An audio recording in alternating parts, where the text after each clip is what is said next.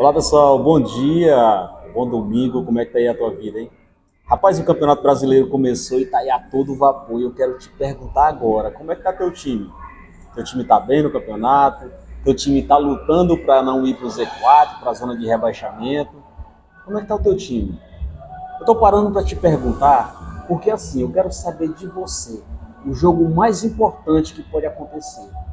Qual é o jogo da tua vida? Qual é o campeonato que você está disputando? Qual é o troféu que você quer receber no final? Ou você não está dando a mínima para o jogo da sua vida? Você é aquela pessoa que está aí apostando nas bets da vida, fazendo todo tipo de palpite, mas na tua vida você não está arriscando nenhum palpite. Como é que você quer chegar no final? O que, é que você espera no final?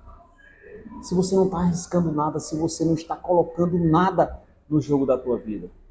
Pense bem, a vida é passageira e esse jogo termina a qualquer momento. E você é o capitão da sua equipe. Você é o treinador, você que está no comando. É você quem dá as ordens. É você quem vai dizer onde é que você quer chegar. Qual é o jogo? Pensa bem, qual é o jogo da sua vida? O que é que você está fazendo no jogo mais importante da sua vida.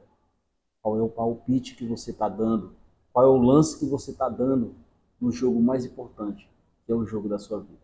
Bom domingo, fica a dica. Eu espero que a partir de segundo ou a partir de agora você comece a traçar as metas, as diretrizes para o jogo mais importante, que é o jogo da sua vida. Ok? Um abraço.